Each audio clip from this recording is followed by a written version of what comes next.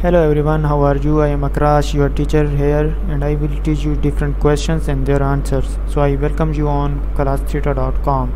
So our today's question is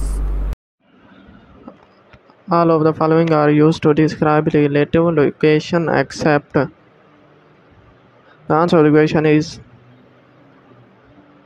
relative location is typically described using terms like near, next to, south of, or adjacent to. It refers to the position of a place in relation to the other location. Therefore, any term that indicates an absolute or fixed location, such as specific coordinates or a street address, would not be used to describe relative location. If you have specific options to choose from, I can help identify the one that does not fit. This is the correct answer of the question. If you have a question, just leave your comment. I will be answering you as soon as I can. Thank you very much for watching the video.